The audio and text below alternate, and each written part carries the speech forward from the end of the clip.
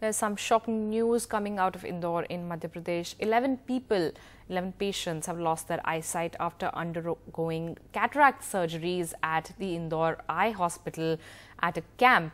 This camp was conducted under the National Program for Control of Blindness on the 8th of August.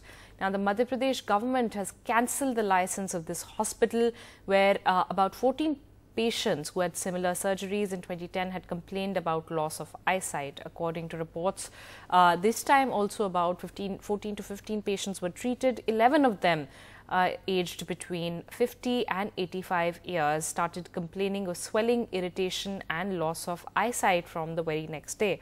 The 11 patients mostly come from financially weak families and um, the, the Madhya Pradesh government has ordered a high level probe and a suspension of the concerned hospital's license on Saturday. Meanwhile, uh, the Chief Minister of Madhya Pradesh, Kamal Nath, has tweeted expressing shock that this hospital was allowed to operate at all, even though there was a similar episode nine years ago at the very same hospital. He also tweeted uh, the fact that uh, they have declared compensation of 50,000 rupees each to those affected.